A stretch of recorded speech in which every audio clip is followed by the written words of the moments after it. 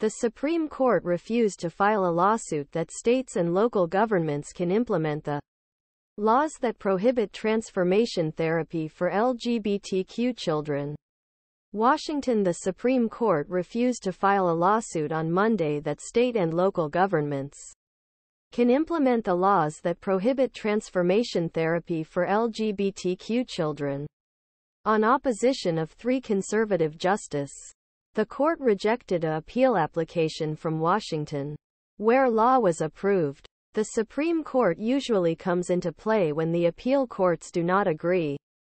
And Samuel Alito and Clarence Thomas, in separate opinions, are easily met in the discussions on standards transformation therapy prohibitions. Thomas wrote that his colleagues should take Washington case because licensed consultants cannot do anything other than the state-approved view of young people with gender dysphoria. Justice Brett Kavanaugh also voted to hear the case. The court's decision avoid case in Washington. LGBTQ efforts to limit the rights of children spread country. Approximately half of the states prohibit a person's sexual orientation or gender identity through counseling. Brian Tingley, family advisor in Washington, filed a lawsuit against 2018 state law, which threatened the therapists entering transformation therapists by losing their licenses. The U.S.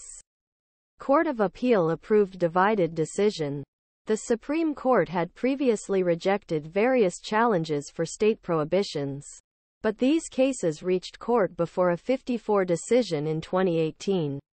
And Justice decided that California could not force the crisis pregnancy centers against state licensed abortion. Since the 2018 decision, the 11th U.S. Court of Appeal in Atlanta has invalidated local Florida bans.